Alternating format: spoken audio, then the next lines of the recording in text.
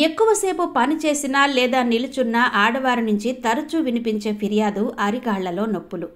అధిక బరువు ఉన్నప్పుడు ఎక్కువసేపు నిలుచుంటే కూడా ఈ నొప్పులు వేధిస్తూ ఉంటాయి. ప్లాంటర్ ఫాస్టిస్ అనేది అరికాళ్ళకు సంబంధించిన వ్యాధి. ఇది ఆర్థోపెడిక్ అంటే ఎముకలకు సంబంధించిన సమస్యలు కూడా కావచ్చు. అయితే ఈ అరికాళ్ళలో వచ్చే నొప్పిని ఇంట్లో ఉండే వస్తువులను ఉపయోగించి కూడా నయం చేసుకోవచ్చు. వీటి ద్వారా దాదాపు పూర్తి ఉపశమనం లభిస్తుంది. అరికాళ్ళలో నొప్పిగా ఉంటే మొదటగా ఓ సీసాలో వేడి నీళ్ళు పోయండి.